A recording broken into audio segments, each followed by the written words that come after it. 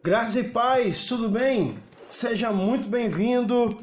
a esse é o canal onde eu conto algumas ilustrações, faço algumas reflexões e também alguns estudos bíblicos.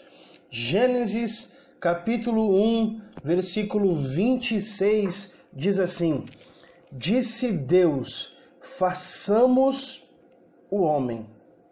Façamos o homem.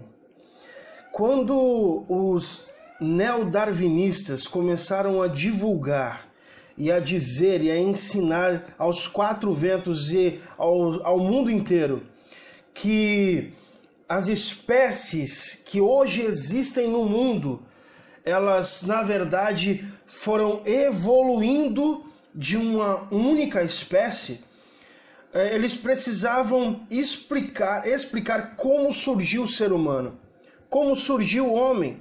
Eles precisavam dar uma definição, uma explicação de como nós, seres humanos, seres inteligentes, seres capazes de raciocinar, seres como nós surgimos. Bom, é, o que na verdade existe por trás do neodarwinismo é uma tentativa maldosa de tentar mostrar e provar que o mundo e a vida se originou sem Deus.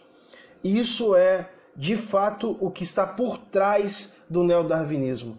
Um grupo de cientistas ateus que não acreditam na existência de Deus e que tentam, de todas as formas, de todas as maneiras, provar que a vida e que o mundo e que tudo que existe surgiu sem a presença de Deus, sem a interferência ou sem a criação de Deus. Então, eles dizem, como já falei em outros vídeos, os links vão aparecer aqui em cima, depois você assiste, clica aí para assistir se você ainda não viu. Então eles, eles dizem, né, até hoje eles dizem, que a Terra surgiu do nada, do nada, né, por acaso, numa explosão de moléculas, uh, depois de muitos bilhões de anos, então apareceu o primeiro ser vivo microscópico, uma ameba, e esse ser microscópico começou a sofrer várias mutações e começou aí a ter uma evolução e evoluiu para um outro ser vivo, que evoluiu para um outro ser vivo,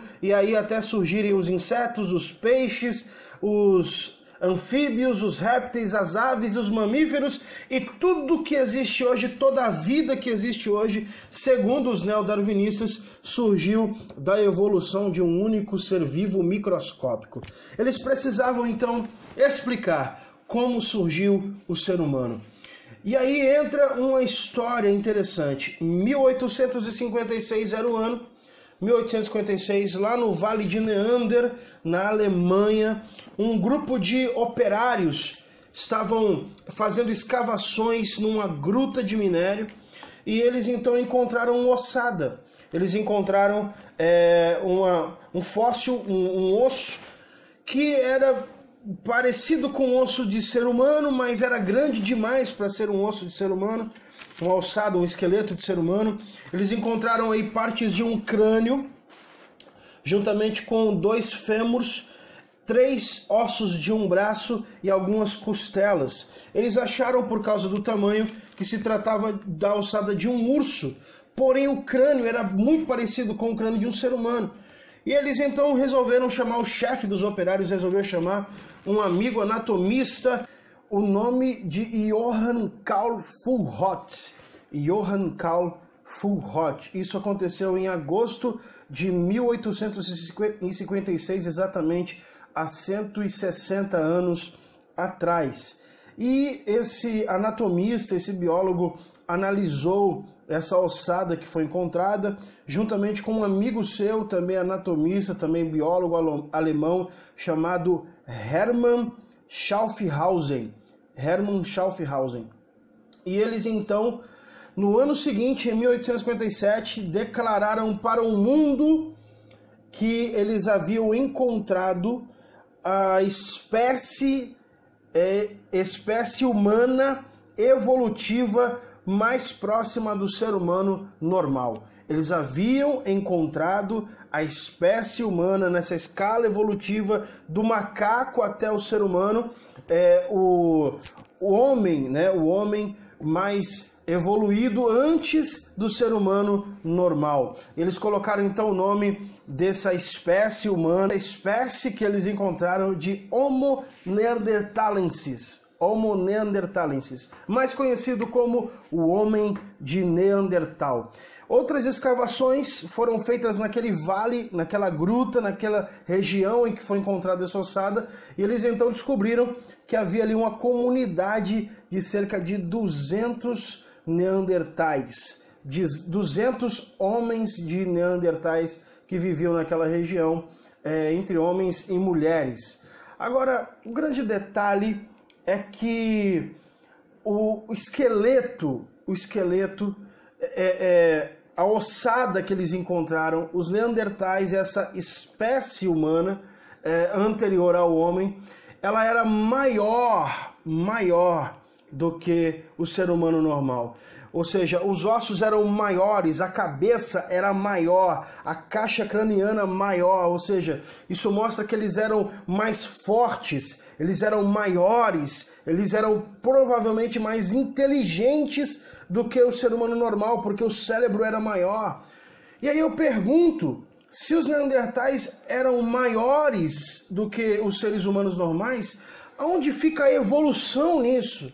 Na verdade, houve, haveria uma involução e não uma evolução. Dá uma olhada aí em algumas fotos dos neandertais, uma comparação aí com os seres humanos. Dá uma olhada aí, daqui a pouco a gente volta.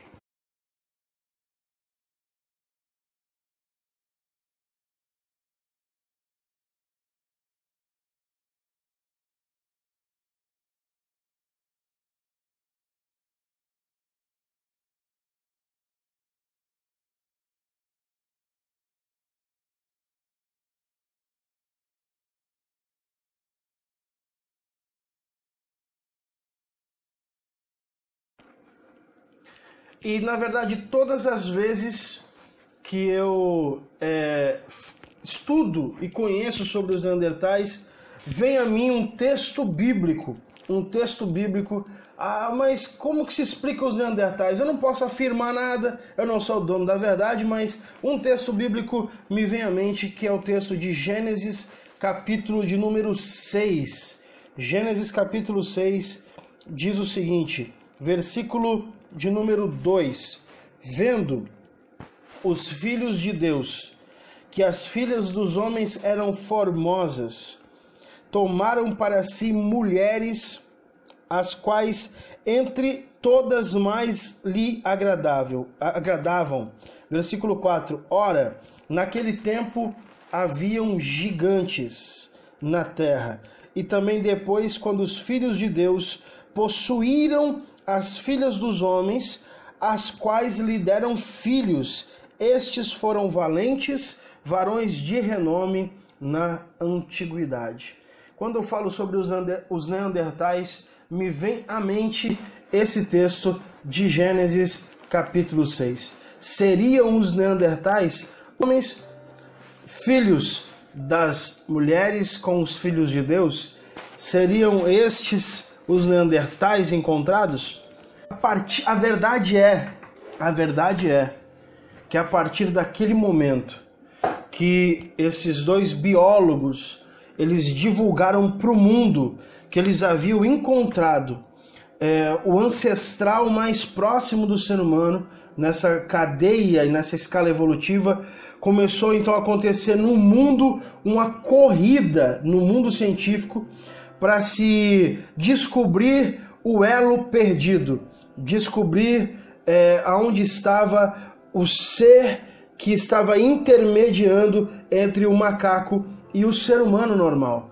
E houve várias escavações investidas no mundo científico, tanto na África, tanto na Europa, tanto na Ásia, e grande parte, grande parte de tudo que foi anunciado como descoberta é, do famoso elo perdido, na verdade descobriu-se que eram grandes fraudes, grandes armações, como por exemplo o Homem de Piltdown, que foi uma ossada que foi apresentada ao mundo por um grande cientista inglês como o ancestral anterior ao homem de Neandertal e que depois descobriu-se, depois de muitos anos, é, que na verdade se tratava de ossos de seres humanos com ossos de macaco misturado para tentar se formar uma ossada e depois dizer que era um ancestral do ser humano.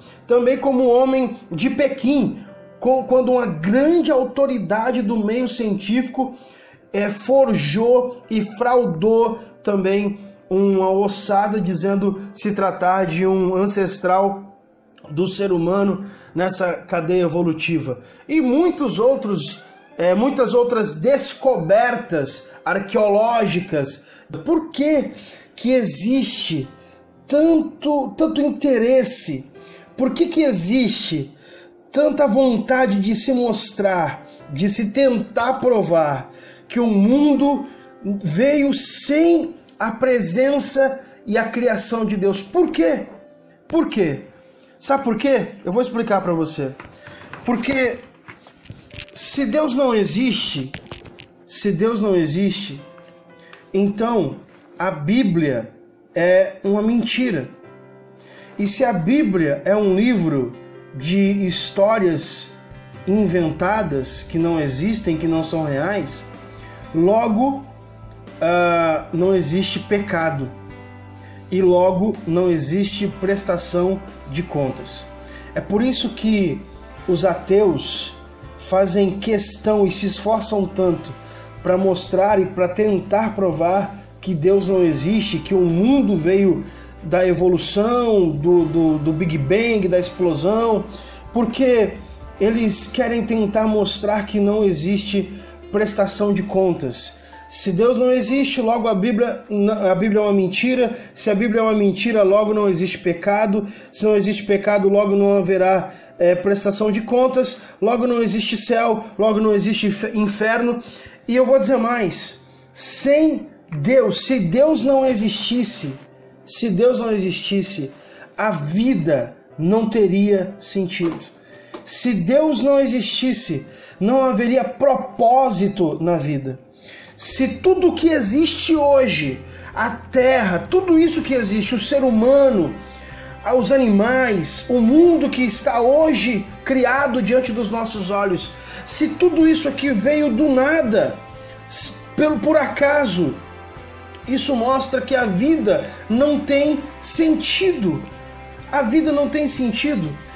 E eu, eu te pergunto, eu, a mesma pergunta que eu faço em outros vídeos como pode, como pode nós, seres humanos, inteligentes, com capacidade de raciocinar, com, com capacidade de criar tantas coisas, o ser humano tem a capacidade de ir para fora da para fora da Terra, de chegar à Lua. O ser humano tem a capacidade de criar aviões, de, de voar. O ser humano tem a capacidade de criar tanta coisa e o ser humano está sempre em constante criação, sempre criando coisas novas. O ser humano faz tantas coisas. Como pode?